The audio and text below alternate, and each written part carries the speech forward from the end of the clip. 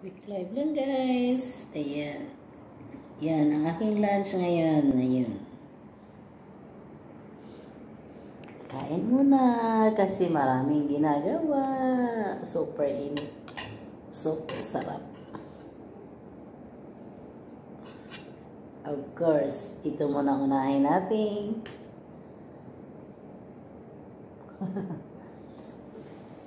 Init. So, wala akong tulog guys. Nag ano lang ako nag tawag dito.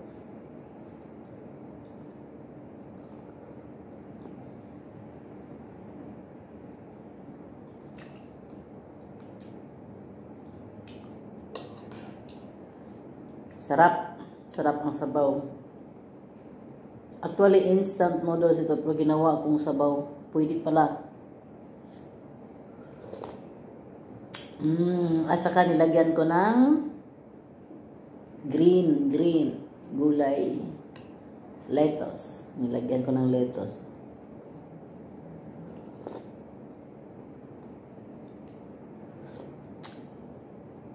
Thank you guys. Thank you for watching.